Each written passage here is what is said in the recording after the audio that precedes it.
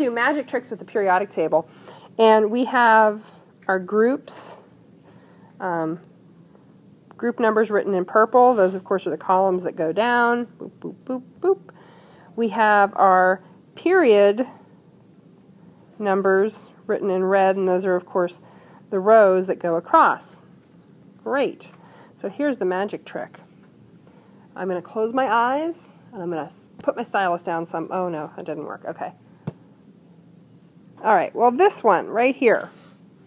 If I want to write the electron configuration for this, and it does help if I have helium, neon, argon, krypton, xenon, and radon written in. That's all I need. And I will now, without doing anything, write the noble gas notation for this element. I have no idea what this element is. I don't know how many electrons it has. There's nothing on this periodic table. This is like Penn and Teller. There's nothing up my sleeve. There's nothing in my hat. Wait, I'm not wearing a hat. This right there has a configuration of, okay, Wyatt, start me off. Krypton 5s2. Tread carefully. Tread carefully, sir. You can do it. Lagging by one. 4D1. We just pulled that right straight out of our hat, out of thin air. We didn't count electrons. We didn't do anything. How do we do this magic trick? You will see when you watch the video from class on Tuesday. Okay, so the question being, you know, what if I had something that had an F block, that was F block, or that had Fs filled? The thing to remember, and it's not really clear on most periodic tables, I will say that, is that the F block basically is coming from here. So it's in rows six and it's in period six and seven. So as long as you're above six and seven, you don't have to worry. You don't have anything filling in F. Um, and let me let me actually grab the illustration of the expanded version because it does make so much more sense that way. If we look at this one, this is the expanded periodic table um, done by Dr. Van Brainer. And, you know, if we were to do the same thing and randomly stick a pin, so here we ended up picking copper, how would we do the noble gas notation for that? Well, argon, and then let's see, one, two, three, four. So 4s2 3D, 1, 2, 3, 4, 5, 6, 7, 8, 9. And we realize that until we get to the sixth row, we don't even need to worry about the the F block's called lanthanide and actinide series because um, lanthanum and actinium, I think I'm getting those right, are what started off. So if you're using a periodic table that doesn't have F block in it, um, like this, then you just want to key on the fact that it um, that's how that works. Questions? Okay, so that was that was our magic trick. Okay, it's not as impressive as it could be. But now we're going to talk a little bit more about some characteristics of atoms that we can predict based on their arrangement on the periodic table. So we can predict electron configuration really quickly, really simply, and you kind of already knew that, you just didn't know the magic party trick we're going to start to talk a little bit about atomic radii. So this is more about electron configuration and periodic properties. And what does atomic radii have to do with electron configuration? Well, I'm glad you asked. So first let's establish what atomic radii is. Um, it's half the distance between the nuclei of two identical atoms that are bonded together. So let me draw that for you. Here we've got two little nitrogens. Um, I would like you to remember that these are all just sort of images that we use. They're like visual cues. Nitrogen atoms do not have ends stamped on them. That's important to know. Really, it is. So when we measure atomic radius, you know what the radius of a circle is. What we're measuring is one half of the distance between these nuclei. Okay? So the radius is half of that distance. And we have to measure radius when they're bonded, and we have to measure radius when an atom is bonded to something that is identical to it. And we'll talk more about why that is later. So, if we go from group 1 and we move across a period to group 18, atomic radius shrinks. Huh. And if we start at the top of a group and go down that group, the atomic radius increases. So let's actually look at what we're saying. Okay, so we're actually going to start with the second bullet on that slide.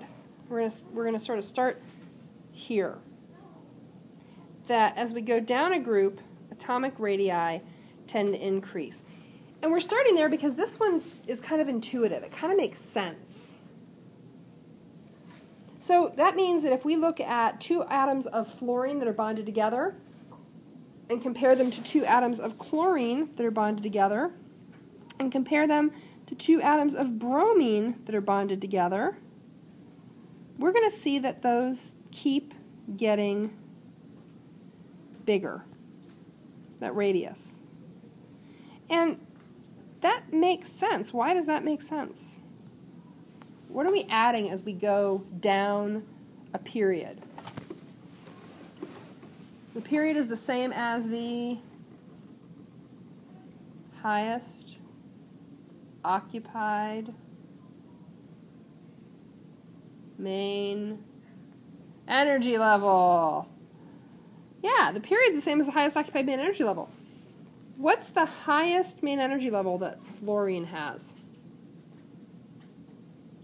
Two. So let's, well, I'm going to sketch that. Okay, so I've got fluorine there. Fluorine has two electrons on the first main energy level. It's full. And then it's got seven on the second main energy level. It's almost full. It would really dearly love to pick one up so that it could be just like um, the noble gas that it so admires, neon. But it's got two main energy levels. Okay. Now, we know that they're not really concentric rings a la who? Whose, whose model was the little concentric rings, like little racetracks? Bohr. Yeah, good. So we know they're not really these little concentric rings that go further and further away from the nucleus, but it's not a terrible model. The electron clouds do tend to get um, further from the nucleus as we add energy levels. So the, the 1s is closer to the nucleus than the outer limits of the 2s. And the 3s is farther away from the nucleus than the 1s. So, I mean, it's, it's a useful visual model, even though we know this is not reality.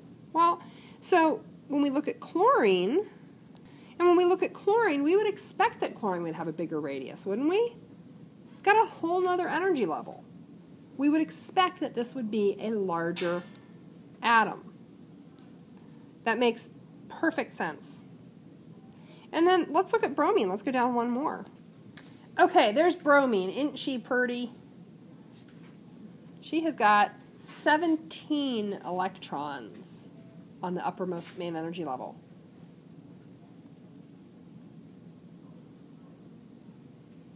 Oh, wait, no, she doesn't. Hold on. I screwed that up. Those additional 10 are 3D. Those are on the third main energy level. So she, she bromine is in 1, 2, 3, 4. So on that uppermost level, it's got a 4s2, 4p5. So bromine's a pretty large atom, wouldn't you say? A lot happening there. We're out to the fourth main energy level. We would expect bromine to be fluffier than fluoride. So we're not really shocked that um, bromine is larger than chlorine and chlorine is larger than fluorine. But there's more to it than what's obvious, and that's why I start with this one.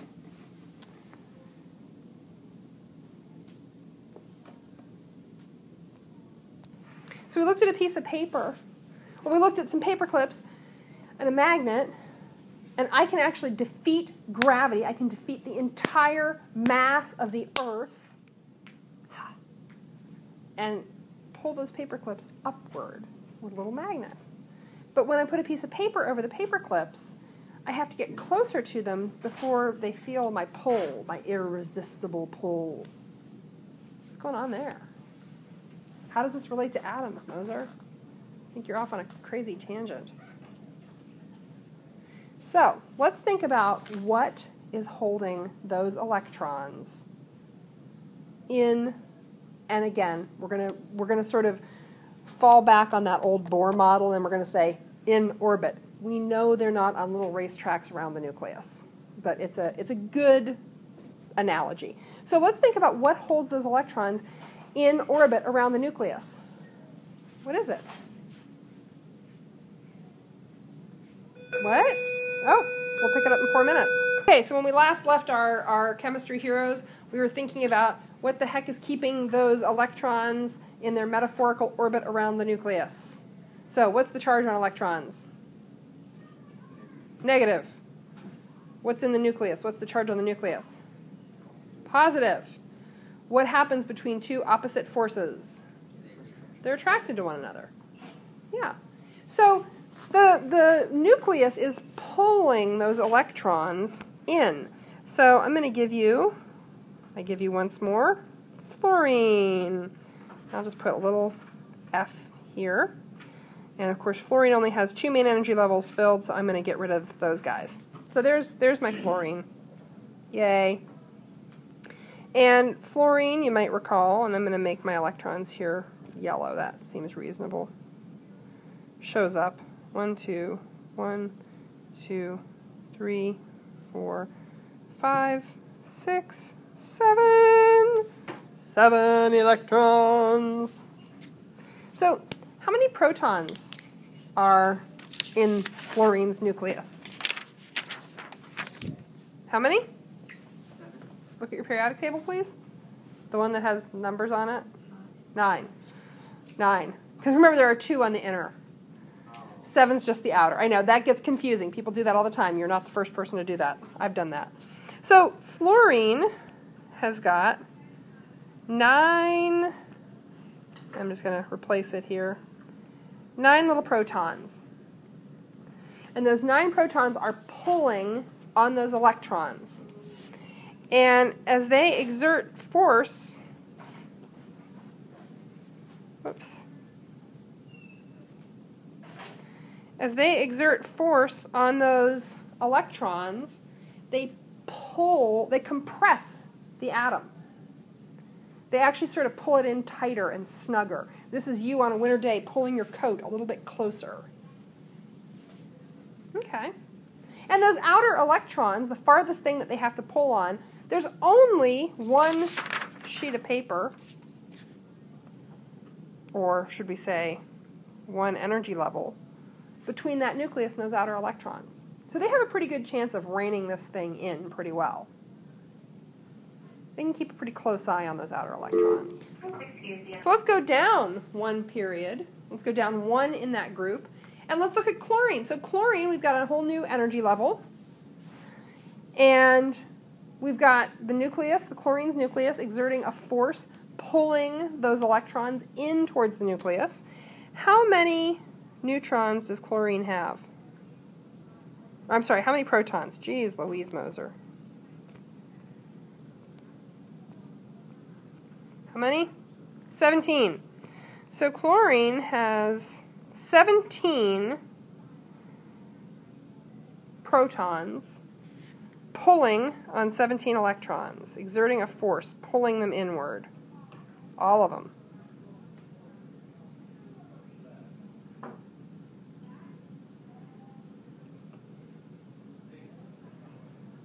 Okay. Well, it's a lot more to keep track of. It's a whole lot more to keep track of. And how many main energy levels are between the nucleus and those outer electrons? Why two? So there is a degree to which those outer electrons are shielded from the force of the nucleus. We actually call this very so we actually call this electron shielding. Those outer electrons are being shielded from the attractive force of the nucleus by those energy levels that exist between the nucleus and those outer levels. So the more energy levels we have between the nucleus and those outer levels, sort of the harder it is to get a grip on those outer electrons. This is kind of like a family with two kids. Somebody's keeping you in line at all times. Versus a family with 18 kids. What's the youngest one doing? Who knows? Nobody knows. These outer electrons in really large atoms are like the 18th of 18 children. Nobody actually knows what they're doing. Nobody knows if they have lunch. Are they alive? Okay, good. That's about all we can be concerned with. We don't know if they have clean underwear. We just don't know. Too much. Those outer electrons don't feel as much of a force of attraction to the nucleus because there's so much between them. There's so much distance. There's so much shielding that goes on.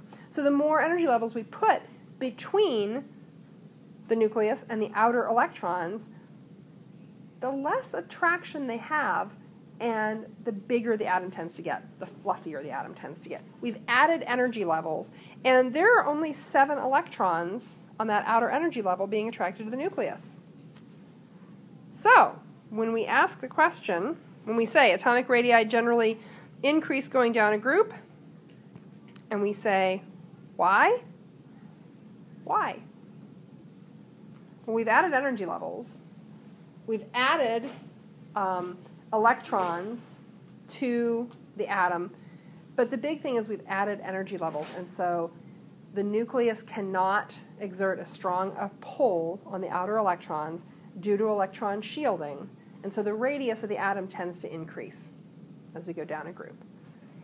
That one's actually pretty easy to understand, I think. I think that's the one that's pretty obvious and pretty intuitive. When you draw fluorine versus chlorine versus bromine, you look at the three of them and you go, oh, well, bromine's totally going to be bigger. Even though, remember, the little concentric rings are just a mechanism that we use to understand it.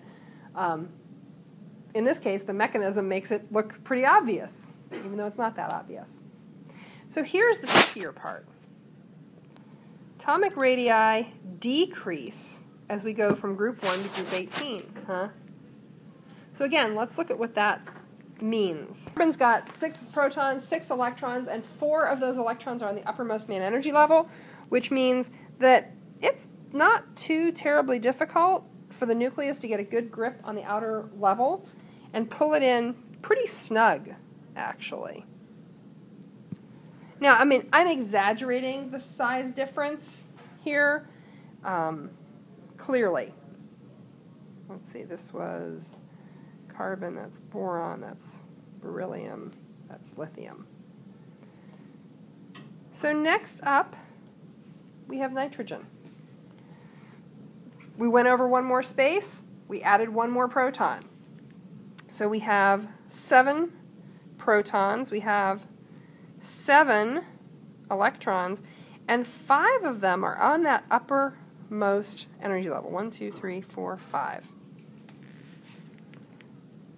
So the nucleus has got a lot of sort of stuff to get a good grip on. And as a result, the radius is going to be even smaller. The more electrons you have on the outermost energy level, the better a sort of a grip the nucleus can get on it and the smaller the radius tends to be. So something that has one valence electron is going to be a much fluffier atom, and I, I do actually use the word fluffy because I kind of always visualize pulling a cotton, compressing a cotton ball. You know, if there's some force in the center of the cotton ball, pulling it all inward. If it can't really get a grip on the edges, it's a pretty fluffy cotton ball. Um, things that have a lot of electrons on the uppermost main energy level, basically your group 17s, your halogens, because these all have seven valence electrons, they're going to tend to be pretty fluffy atoms. They do not, they, they, they have a really strong grip on those outer electrons. Does that make sense? Okay, cool. So let's, let's play a little game. Okay, I've given you four elements. You will need a periodic table that has um, some letters on it. And what I would like you to do is arrange these from largest. Well, actually, let's go let's go in increasing order. Smallest to largest. Michaela, what do you and your buddy have as your smallest atom here? Potassium. You have potassium as your smallest, okay? So you say smallest is potassium. What's next? Zn. Zinc. And then Br. bromine. And then Ti. titanium. Okay. Is everyone in agreement with Michaela and her friends? I don't know. I don't know who her friends are. She has lots of them. I don't know if the island is cohesive or the island is not cohesive. Okay, so we have disagreement. We have dissension in the ranks.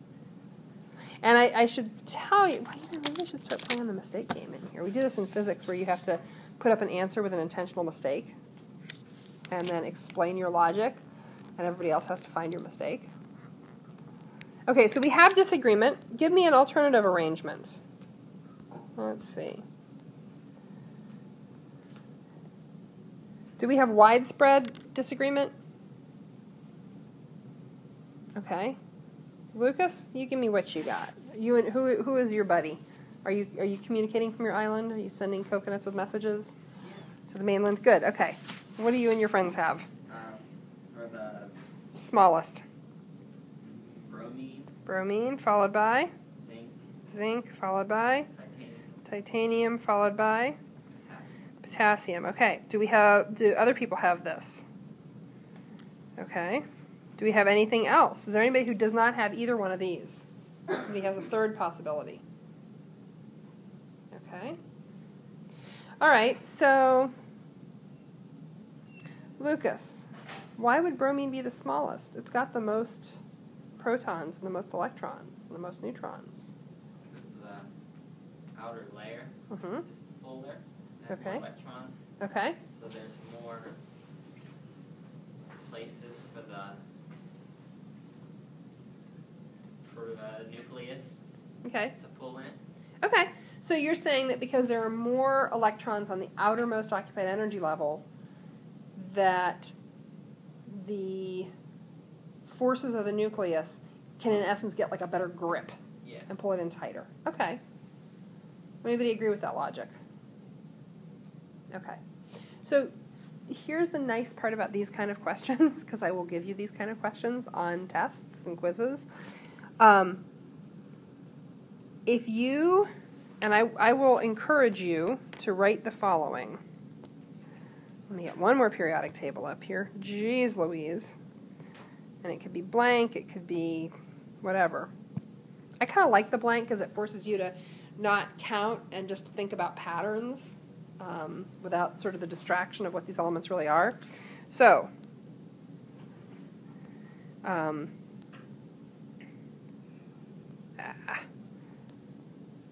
radius. Can't even spell radius. Here we go. Radius decreases as we go that way. That's a helpful mnemonic. And then all you have to do is put them in the order that they appear within a single period, but sort of backwards, reading in reverse. And the other thing to write is, of course, still can't spell radius.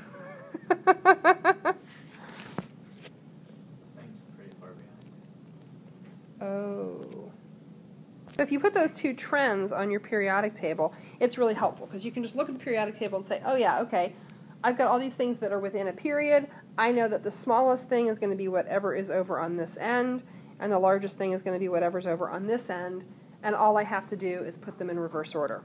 So let's try some things within a group. Polonium, oxygen, uh, selenium, and sulfur. Put them in order from smallest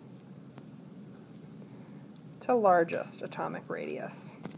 Okay, um, we have a group claiming that it goes oxygen would be the smallest, followed by sulfur, followed by selenium, and polonium would be the big boy on this block. Agreement? Yeah, absolutely. Um, because oxygen is at the top of the group, it's going to have um, the lowest number of energy levels. It's going to have the least electron shielding, so the nucleus of oxygen can get a much better grip on its outermost occupied energy level than something like polonium, which has electrons occupying, let's see, one, two, three, four, five, occupying 6s and 6p. That's way the heck out. That's, you know, very, very far from sort of the center of activity. Okay, now let's do one that's a little bit trickier. Okay, arrange once again,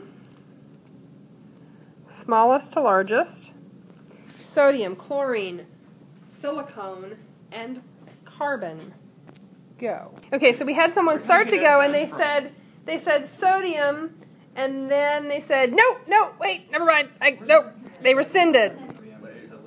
Sorry, no, it lagged. I, I put SN and then I erased it. And but it lagged. So SN was only up there for a fraction of a moment, but apparently it froze there. Sorry, go again. My apologies.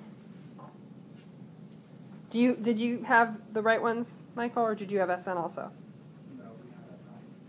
Okay, Si and C. So sodium, chlorine, silicone, and carbon. The vagaries of technology.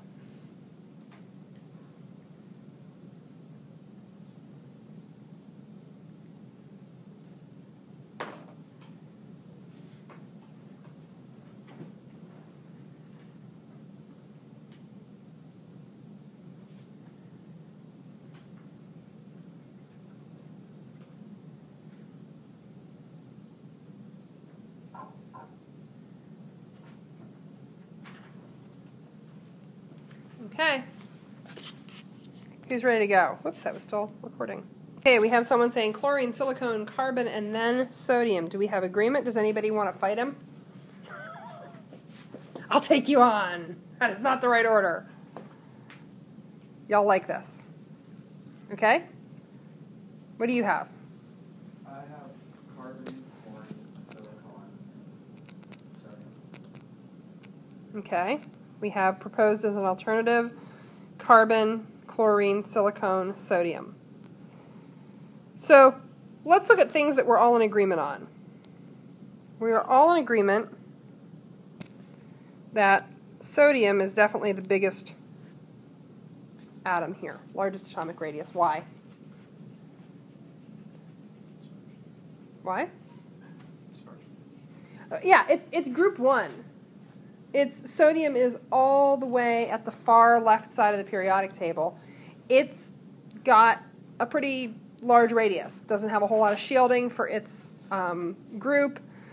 Okay, now it looks as though we all agree that chlorine is larger than silicone. Is that true?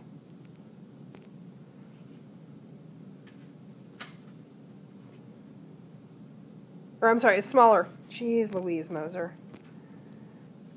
Fix that. That chlorine is smaller than silicone. Is that true?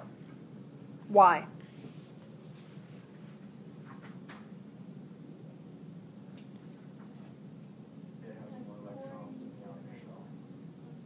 Okay, chlorine's over farther. It has more electrons in the outer shell. Basically, chlorine is going to have a decreased radius because it's got a large number of valence electrons, a large number of electrons in that uppermost energy level, more than silicone does. So, yeah, I would say that this is a correct assertion. Yes, that's true. Yes, that's true. Now the question is, where does carbon fit in here? So, what can we relate carbon to? Yeah, go ahead. It's what? Oh. Okay, so here's the thing. We don't have absolute sizes for any of these. It's all relative. This one's bigger than this one, this one's smaller than this one. We're not measuring here, we're just giving relatives.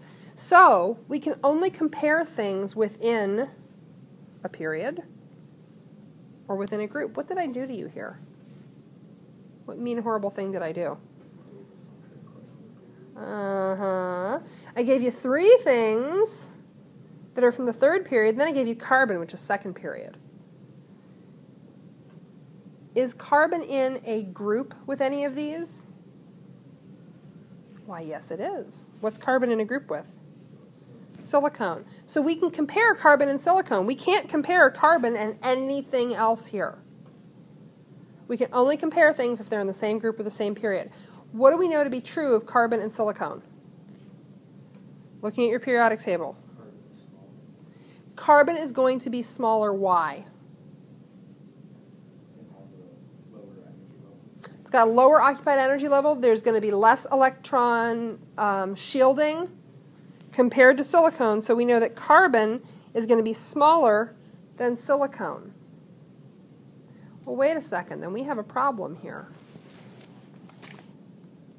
So when you're approaching a problem like this, here's the thing you got to do. We know for a fact that sodium is going to be the biggest. We know for a fact that chlorine, because it's group 17, is going to be the smallest here.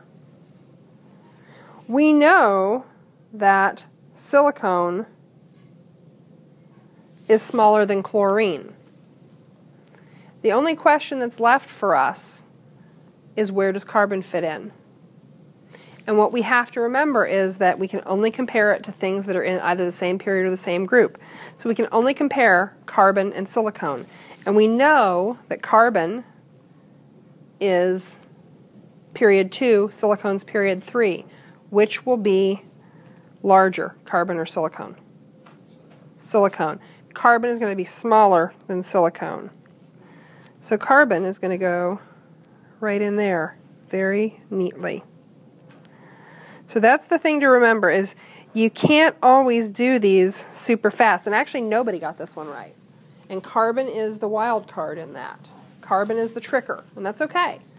Um, when and I will give you problems like this on tests and quizzes where you have, you know, a bunch of things out of one group and then one that's not in that group or a bunch of things out of one period and one that's not in that period. So that's the sort of process you have to be able to perform. I'm going to give you a few more homework problems to get started on to practice this, and tomorrow we start talking about making ions.